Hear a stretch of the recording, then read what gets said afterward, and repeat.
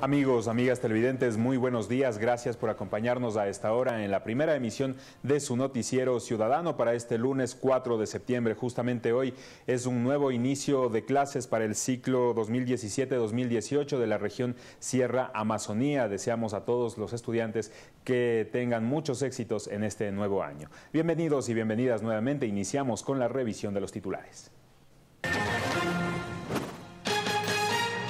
Sistema Educativo Fiscal tiene más de 134 mil nuevos inscritos para el inicio del nuevo año lectivo. Primer mandatario mantuvo una reunión con representantes de la Junta de Beneficencia de Guayaquil.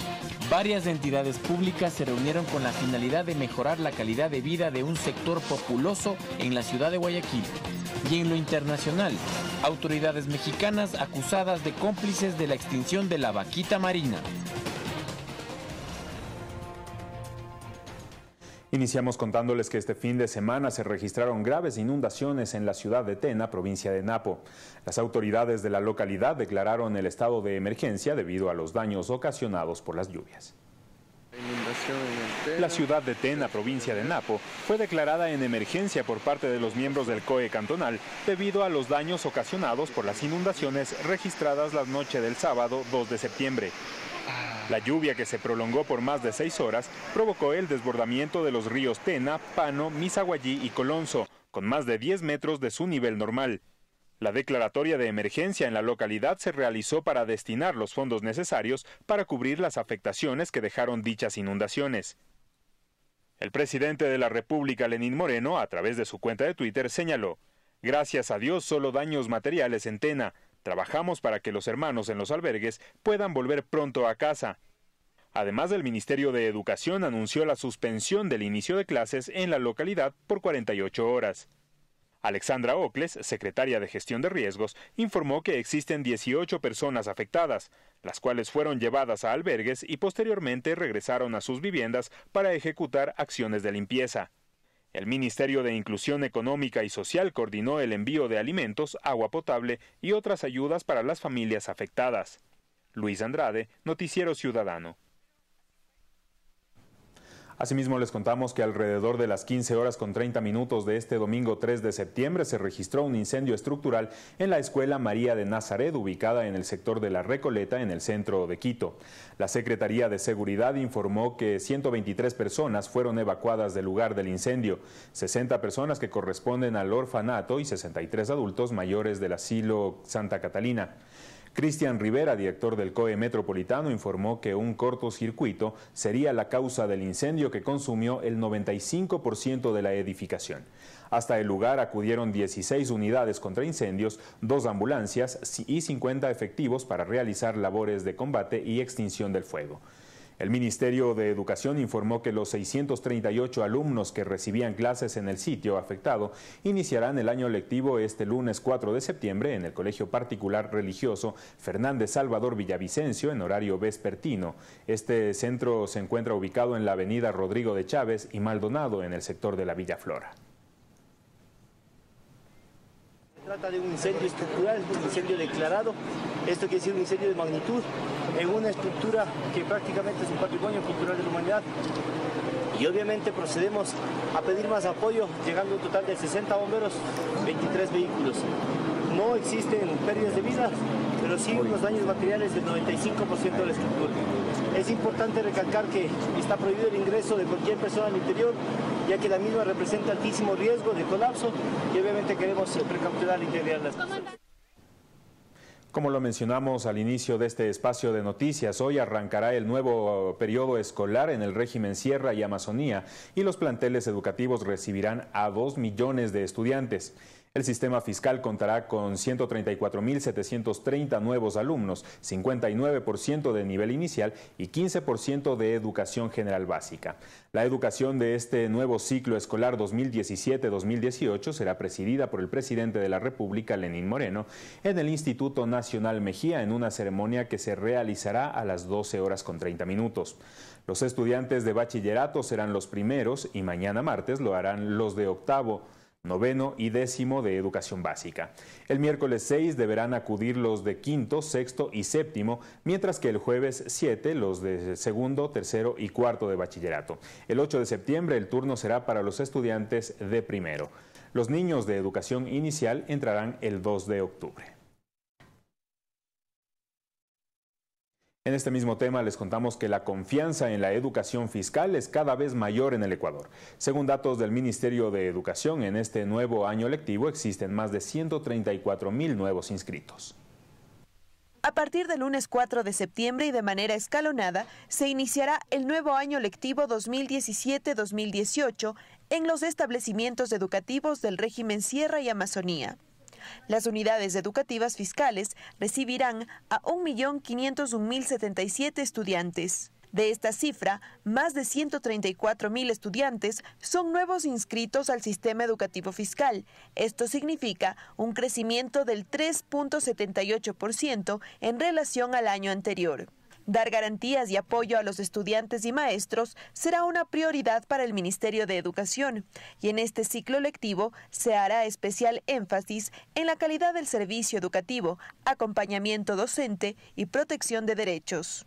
4 de septiembre vamos a hacer eh, la inauguración formal del ciclo Sierra a nivel del bachillerato. El 5 de septiembre inauguraremos el octavo, noveno y décimo del el Bachillerato General Educativo, el 6, el quinto, sexto y séptimo, el 7 de septiembre el segundo, tercero y el cuarto del Bachillerato General, el 8 de octubre el primero del EGB y finalmente el 2 de octubre eh, haremos la inauguración de la, del ciclo de educación inicial.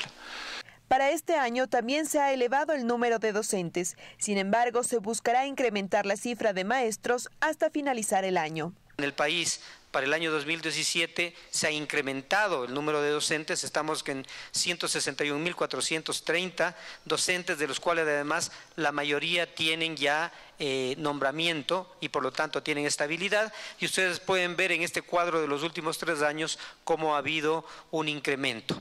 Si deseamos y queremos que haya mayor número de docentes y estamos trabajando por incrementarlos también en este mismo año de tal manera que sea más eficiente la relación profesor-alumno, pero el número de 161 mil docentes nos permite enfrentar eh, con total eficiencia, efectividad el proceso educativo ahora. La comunidad educativa podrá acceder a la información relacionada con valores de pensión y matrícula, lista de útiles escolares y cronograma escolar ingresando a la página web www.educacion.gov.es. Cambiamos de tema. El ministro de Comercio Exterior, junto a una delegación público-privada, inició un recorrido por varios países con el objetivo de atraer inversión extranjera que aportarían a la dinamización de la economía nacional, el incremento de las exportaciones y nuevas oportunidades de empleo. Del 1 al 30 de septiembre, una delegación público-privada ecuatoriana, liderada por el ministro de Comercio Exterior Pablo Campana, visitará China, Estados Unidos, Reino Unido, Suiza, Suecia y Noruega, con el objetivo de atraer inversión extranjera directa y potenciar las relaciones comerciales con dichos países. El primer destino es China, en donde el secretario de Estado presentará a empresarios asiáticos el catálogo de inversiones valorado en 33 mil millones de dólares, que contiene proyectos de industrias básicas, agroindustrias, un proyecto hidroeléctrico y obras de infraestructura. Así también se reunirá con representantes de instituciones financieras con el fin de lograr líneas de financiamiento directo para la banca pública y sirva como complemento a los recursos públicos que serán canalizados para el plan Toda una Vida que impulsa el presidente Lenín Moreno. Del 11 al 16 de septiembre, la delegación visitará Washington, Nueva York, Boston y Chicago. El funcionario tiene previsto participar en un foro empresarial y reuniones con los principales fondos financieros de Estados Unidos que trabajan con países de la región. Esto con el objetivo de abrir la ruta a la renovación del sistema general de preferencias arancelarias que vence a finales de este año. Durante los días 26, 27 y 28 de septiembre, el ministro Campana visitará Suiza, en donde mantendrá reuniones con autoridades e inversionistas interesados en proyectos y obras. Dentro del itinerario se prevé también visitar Reino Unido, Suecia y Noruega, para difundir el clima de negocios existente en el país, fondos no reembolsables de cooperación para proyectos de la bioeconomía y propiciar la llegada de inversionistas que aporten a la dinamización de la economía nacional. Luis Andrade, Noticiero Ciudadano. Cuando son las 7 horas con 16 minutos, una hora menos en Galápagos, hacemos una pausa, pero quédese con nosotros. Regresamos para contarles que el albergue Reales Tamarindos en la provincia de Manabí ha sido cerrado según la Secretaría de Gestión de Riesgos. Ya volvemos.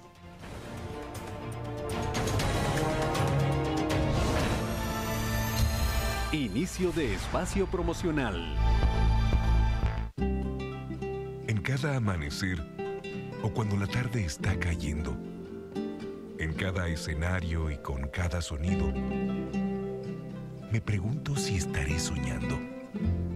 Importa hacia dónde mire, sea el susurro de un árbol o el trueno del mar, el amor está en el aire. Y no sé si es una ilusión, no sé si es una revelación, pero hay algo que me hace creer y está allí cuando te miro, Ecuador está en el aire.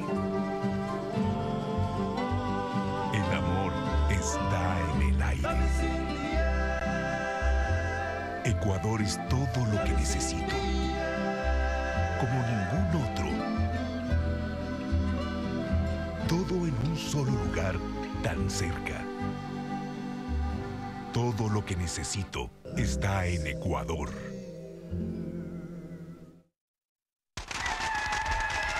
Guayaquil. Bienvenido. 97.7.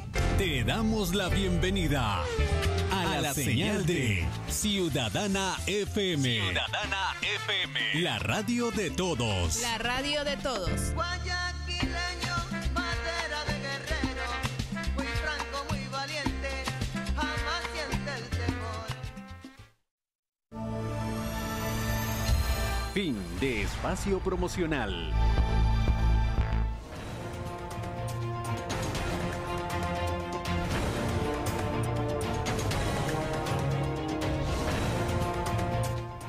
Amigos, gracias por continuar informándose con nosotros. Ahora les contamos que el gobierno analiza la ley de plusvalía y dialoga con gremios del sector inmobiliario y de la construcción, quienes reiteraron su decisión de trabajar conjuntamente en el desarrollo del programa Casa para Todos.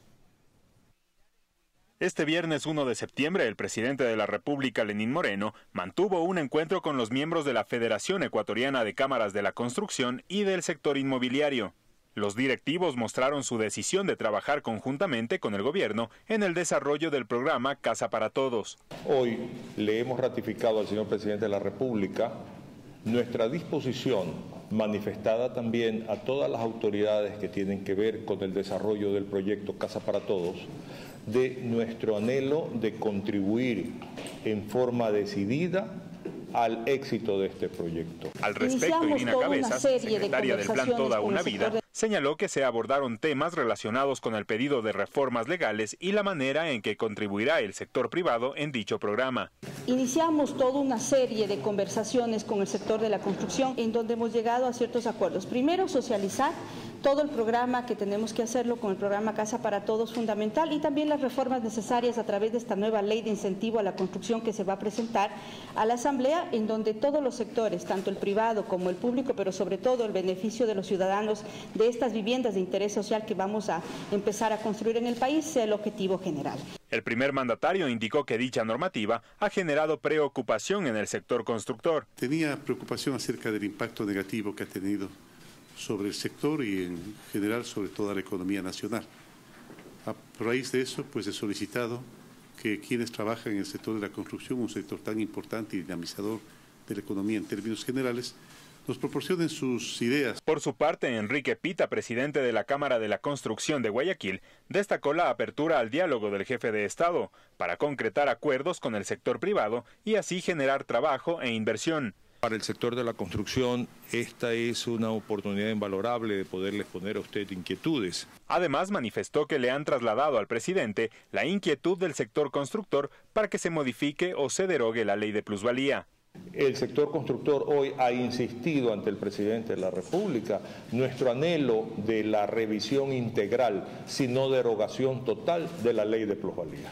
Eh, efectivamente, las leyes hay que reconocerlas, eh, al ser una creación humana son perfectibles y obviamente hay que trabajar en conjunto. Es decir, se van a analizar estas propuestas, se van a analizar otras propuestas que se han presentado.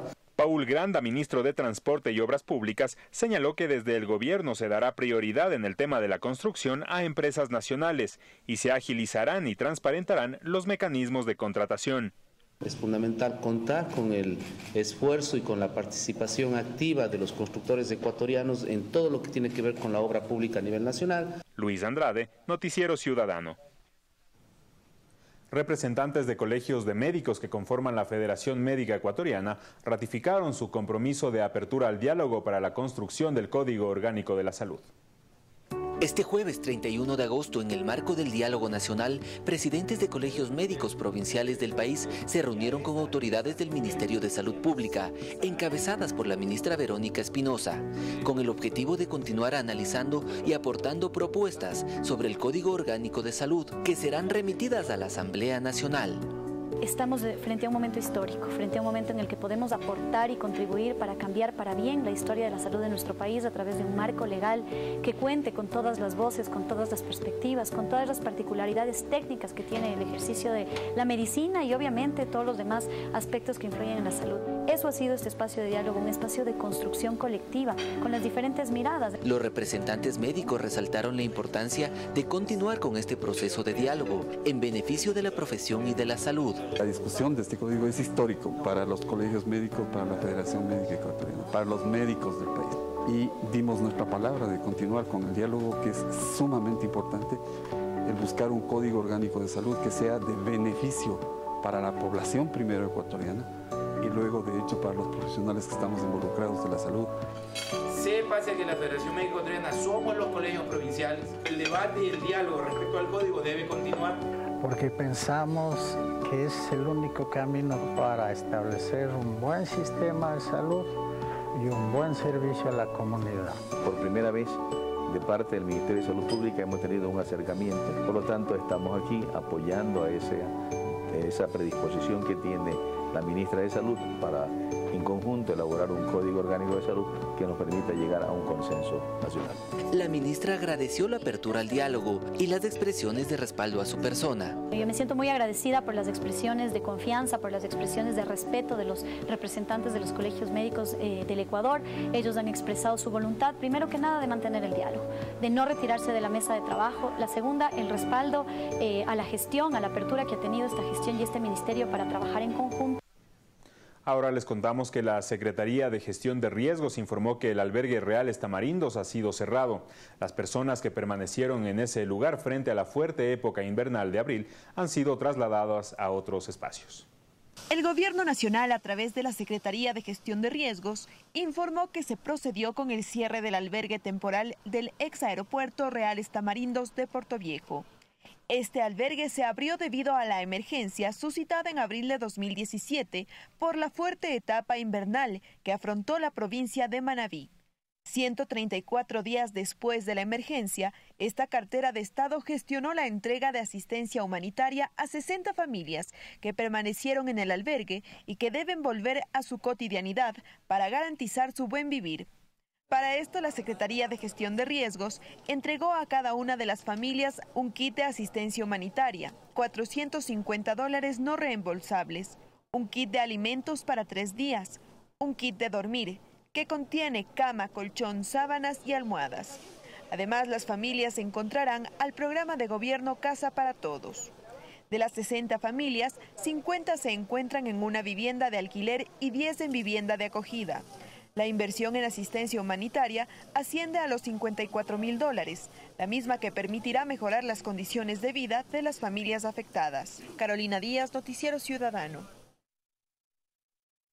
Este fin de semana, Rumiñahui celebró el tradicional Paseo del Chagra en la fiesta del maíz y del turismo. Alrededor de 2.000 jinetes de varias localidades del país desfilaron por las calles de Sangolquí.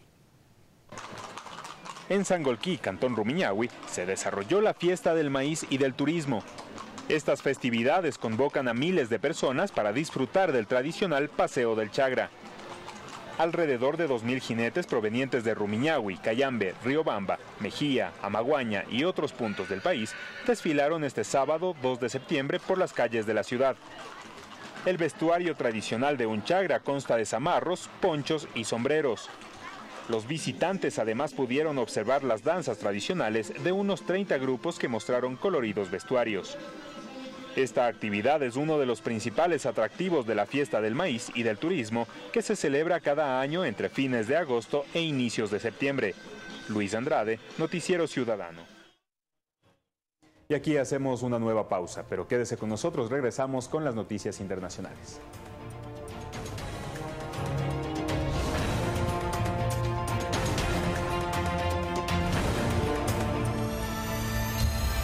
Inicio de espacio promocional.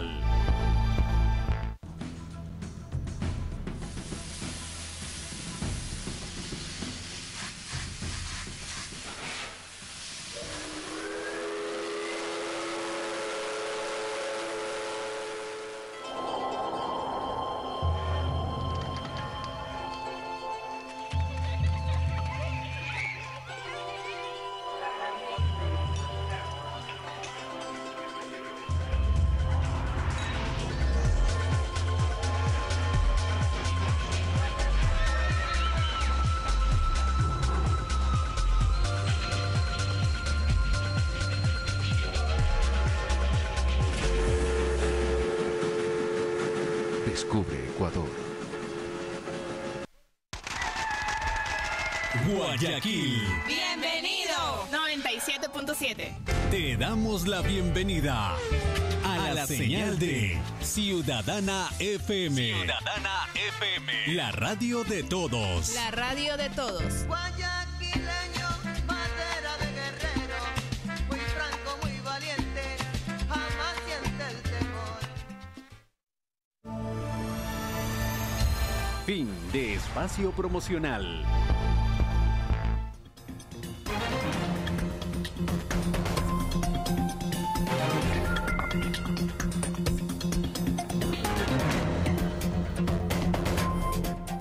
En el ámbito internacional les contamos que en Argentina dos personas de la tercera edad llevan más de siete décadas bailando tango y se conocen tanto que no necesitan ensayar para el mundial de este baile que se celebrará en ese país. Mientras que activistas ambientales eh, denunciaron la falta de acción del gobierno de México para proteger a la vaquita marina, una especie protegida y en peligro crítico de extinción, de la cual quedan menos de 30 especímenes. Revisemos estas y otras noticias en el siguiente resumen internacional.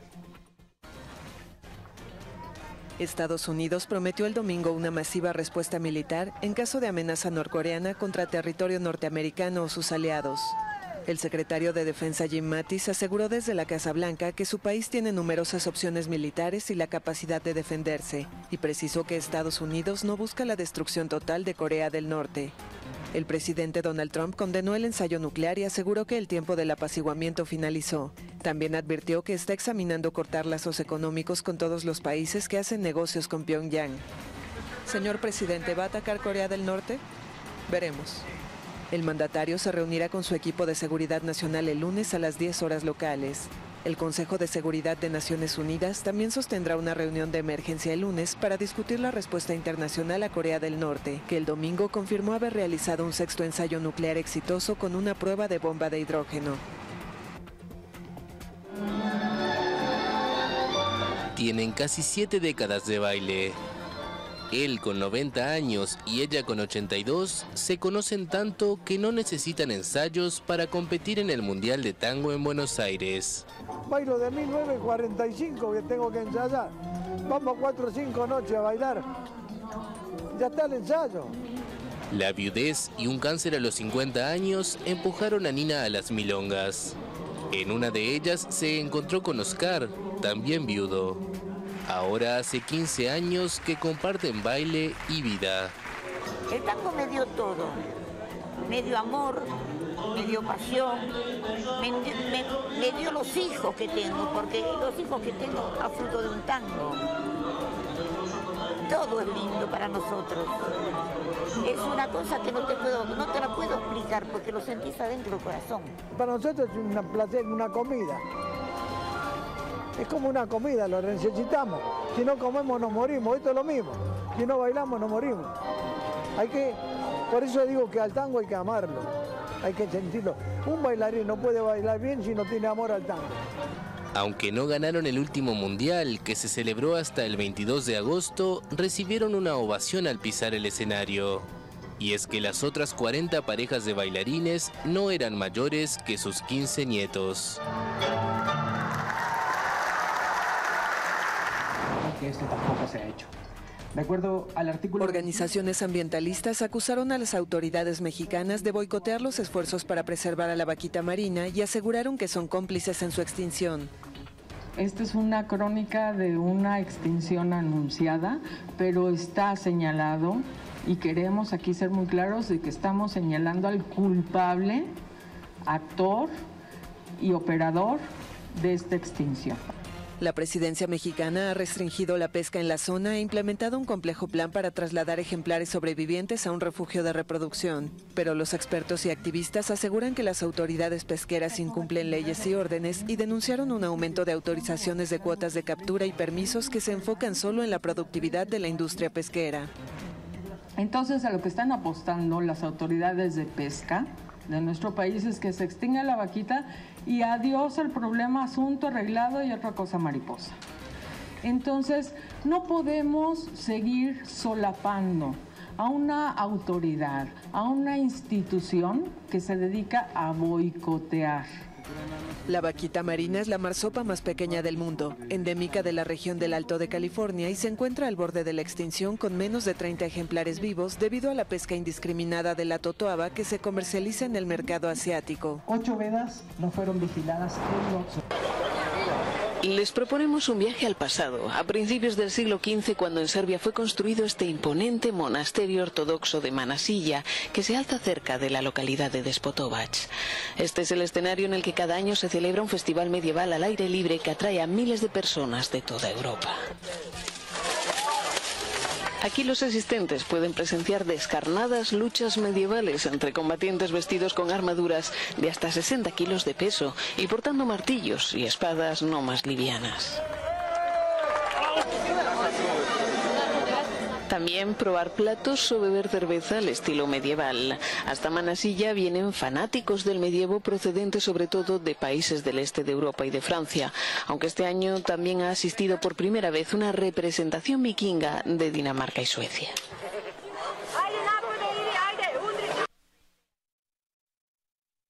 Amigos, amigas televidentes, de esta manera llegamos a la parte final de la primera emisión de su noticiero ciudadano. Agradecemos a nuestro compañero Cristian Mideros, quien realiza la interpretación de lengua de señas. Más noticias hoy a la una de la tarde. Quédese con nosotros. Hasta pronto.